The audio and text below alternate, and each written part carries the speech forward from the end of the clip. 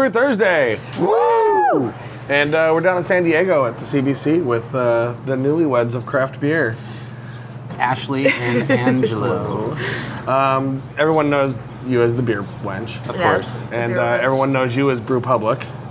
And now we all They know you didn't- as Mr. Brew Now Public and Mr. Mrs. Mrs. Brew Brew Public Public. and Mr. Mr. Beer Wench. Wench. Yes. So uh, Mr. and Mrs. Brew Wench. How about Mr. that? Brew We'll Wench. Bring the Wench names Public. together. I prefer the Wench Public. The Wench Public. That's when we So have uh, kids. we're Wench actually down. Public. We're actually down here in San Diego with you guys. We're hanging out at the Small Bar, which is like a freaking awesome This uh, is craft so beer cool. place. Yeah, it's like it's it's nice and dark and like just Very ah, punk rock. very punk Yeah. rock and you actually know been big red elephant this, heads on the, the wall and Good burger. Yeah, Yeah, they make fantastic excellent, burger. excellent food here. So, and we're drinking Green Flash's Palate Wrecker. So, Yeah. cheers to happy marriages and craft beer. that was not Thank good. Cheers. This glass is mighty clean. it's the lacing on this is exquisite. It is actually. It's quite extraordinary. This is our first time doing Green Flash on the Yeah. actual show. I think um, I've always wanted to wait and have Chuck on the show when we do Green Flash, but I mean, Palate Wrecker, we're in San Diego. It's just, it makes sense. It's, It's the first beer of the day. Yeah. So tell everybody like what happened with you guys. Like this was a this was a relationship born out of craft beer. And it happened very quickly. Very fast. Yeah. Yeah. That's pretty much what happened. Okay, now don't start gazing in each other's eyes and forget that you actually have to talk. Okay, well, like, well, children, it all happened. Mom and I met. Starry night in uh, Portland, Oregon. Uh, actually, met Ashley at the uh, Holiday Ale Festival. That's kind of where we first uh, met. We've actually kind of known of each other for a while, but didn't really actually get to uh, really know each other until that event. So. we didn't know each other biblically. And well, and um, yeah, it uh, it was uh, love at first sight. now, was this after last year's GABF? This is after GABF. Okay, so. I thought you guys kind of met at GABF a little bit.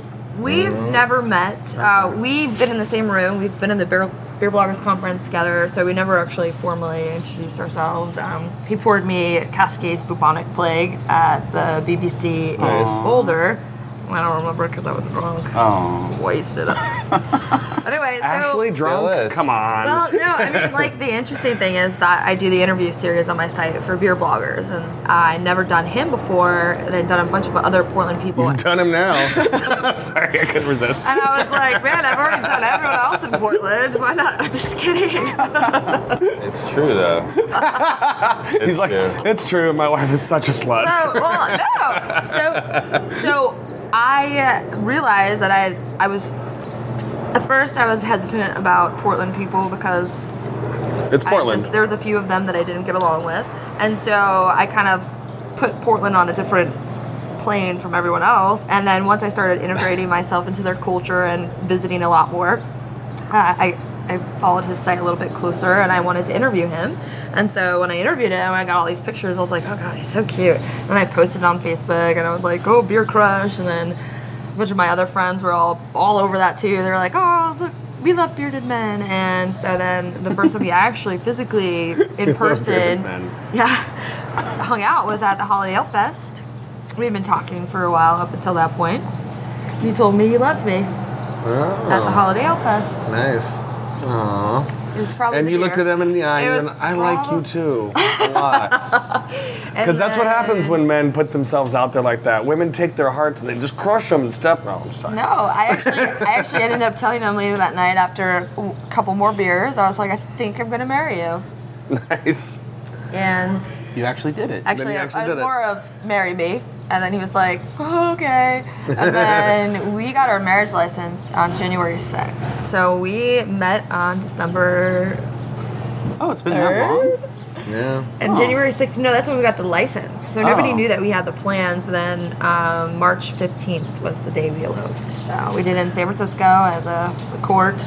Is there a reason was why you chose to elope? Did you not want to have a huge like Well, craft beer spectacle of weddings where everybody showers you with pilsner as you run down the aisle? Well, we definitely want to make a celebration out of it. We want to have our own beer festival probably in 2013. Okay. Um, it's kind of like the nuptial beer fest, but On like your uh, anniversary in 2013, or We're gonna milk it as long as we can. yeah. Well, that, I mean that's that's the unfortunate part about getting married and eloping um, is that you don't have the proper wedding, so you don't get the proper celebration and the money and the present. the gifts? yeah, the gifts. But we didn't. I mean, like I, I think weddings.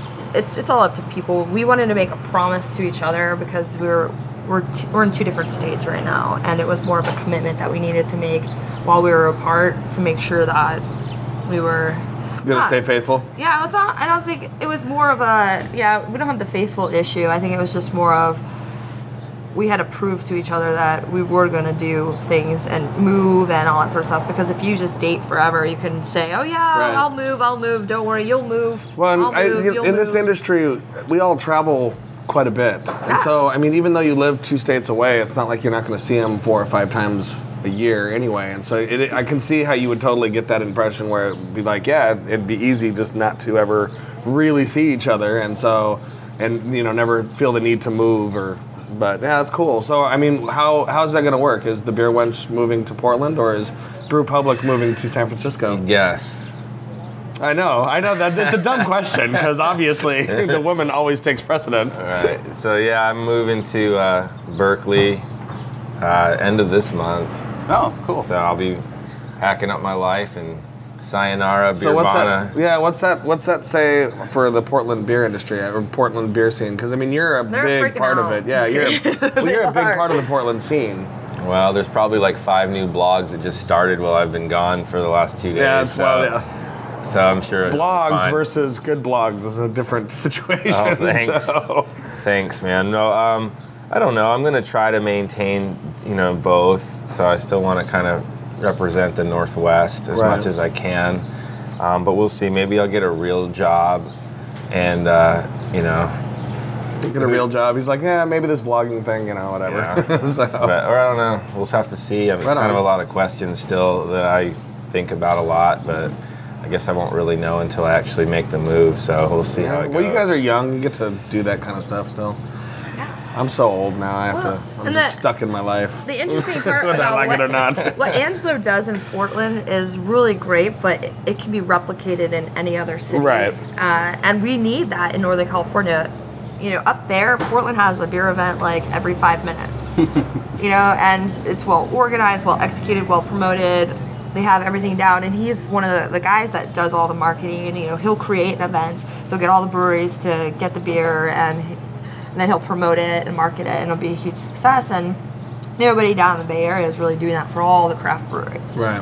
So, I mean, a couple of us, we do our own things, but it would be really cool to have somebody who's more about the culture of the Bay Area craft beer scene, like they are up in Portland. So, Well, I think it's ironic that uh, as much hate as you put towards Portland for that period of time, because you were pretty vitriolic about it. Oh, you I were was- like, was I, like, hate "Fuck Portland. Portland I can know. I brought it. voodoo dolls. And then the first time what- I ever went to Portland, I, I got voodoo dolls and I brought them with me.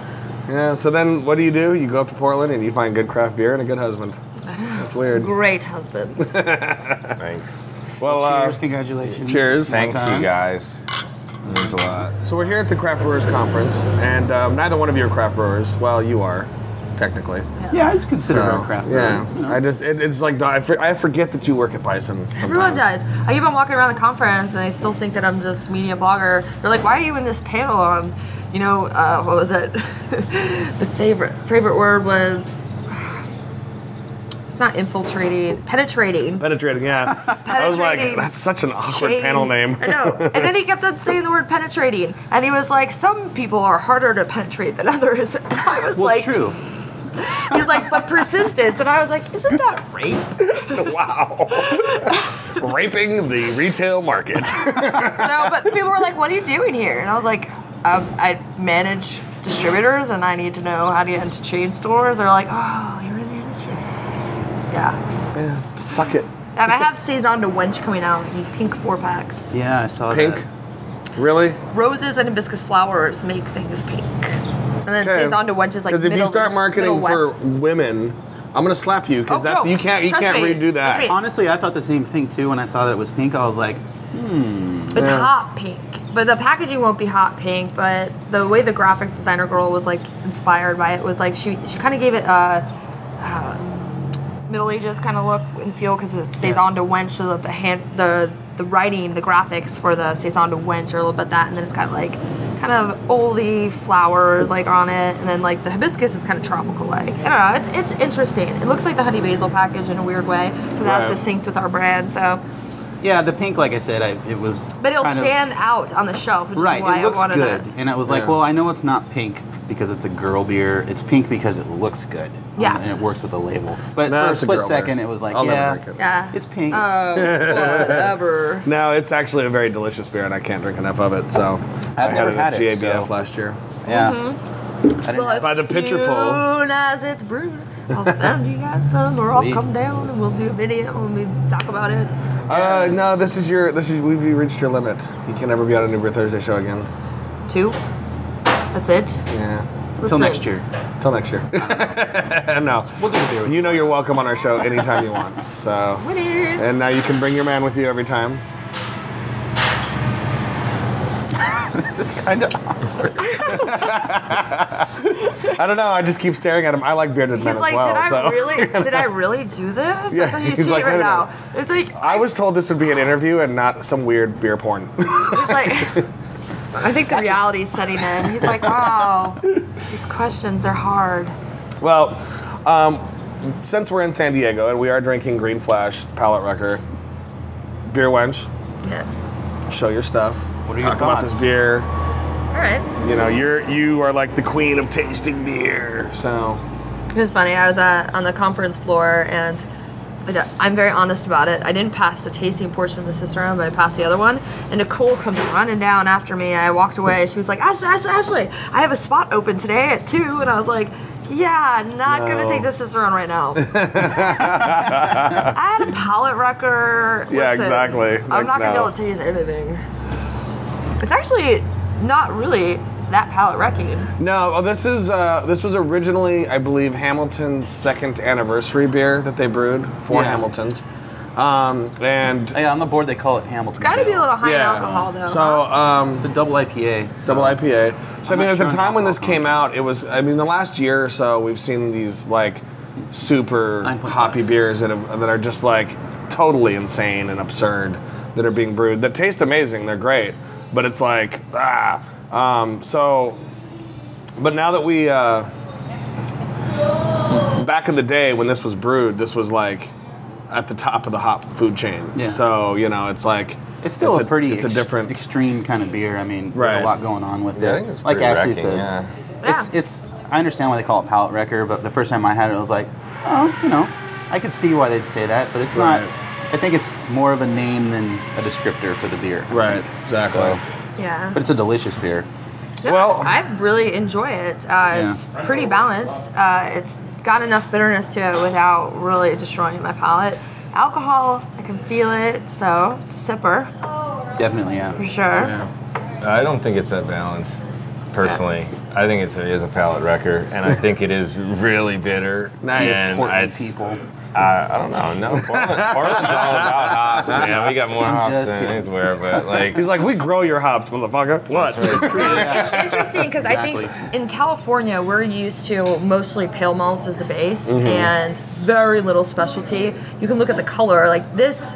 It's clearly a this majority does- of two yeah, row, and this does not look like it would be a typical double IPA. Think about Dogfish Head's 90 Minute, which is all a lot of malt and dark caramel Right. flavors and stuff. And so our IPAs tend to be very light, which allows the citrus and the bitterness of the hops Right. to shine through, but at the same time can be unbalanced for people. Yeah. And uh, Portland does a lot of the same kind of thing with their as the East Coast. They do a lot of the darker malts, Yeah. a lot of more specialty malts, and so you get a, a lot more balanced. Um, Like Ninkasi does yeah, that. Ninkasi and and you know even uh, a lot of the uh, Deschutes beers have a lot of color to them, a lot of body to them. So, Yeah. um, all right, well, this has been fun. we like them light in color, high in bitter, and high in alcohol out here. Pretty much. We like our IPAs like we like our women. Light and bitter. sexy, and they go down easy. Oh wow. I don't know what light and bitter You meant. said like I don't you either. like our women. I, I thought I thought I had something going there, and then I was like, no, it's gone. So I'll just come up with something else. Oh. And then I almost did something that I thought might be kind of racist. So I was like, no, let's just stop. Well, back in the day when I used to work in wine, I used to describe wine with adjectives as opposed to flavor characteristics because people they want to attach themselves to emotions and things. Right. So I used to call wine sexy. Sometimes when it was a slut, I'd be like, it's slutty and it goes down really easy. That's all I can say. That's AKA it's a fruit bomb. But you know, like there's different ways. If you can just like get that with somebody, you're like, yeah, this beer, it's kind of a slut. nice. And on that note, we are going to wrap things up Yeah, because Great uh, Flies, if you want to put that on your packaging, just make sure to get the credit. It's a slutty beer. it's a slutty, Slutty beer. beer. Uh, so, congratulations again. Yep. you. Thank you. Um, we're all very happy for you, very proud of you for. I feel like me and Steve should kiss and hug too. But we're not gonna. Just kinda later. balance everything out. So uh, yeah, this is now getting a little bit strange. So I don't know what's happening right now. But uh, Newlywed. until next time, stay safe and drink beer. Cheers. Thank you guys. Cheers, this beer. What are you doing? Cheers. this is why you don't bring newlyweds on the show.